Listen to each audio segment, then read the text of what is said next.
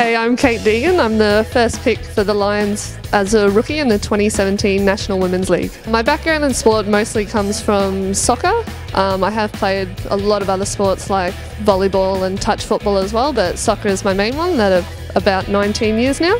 Annalie committing numbers forward. And goal! Deegan scores! Um, with AFL, it would have been roughly six months, just about back in March when I came to Coorparoo just for a little kick and they decided that they wanted me to join the team, so yeah, it was great. I met Craig Starcevich um, at one of our trainings.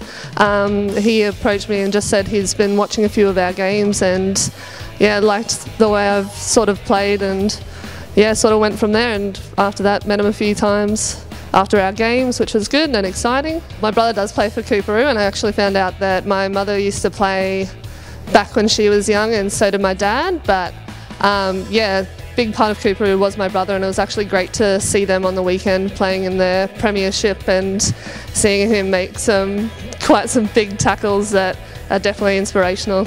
The women that are in the Lions so far I've come up against on the field it has been definitely a new experience going up against Tayla Harris and being told to mark her and also um, mark Zielke.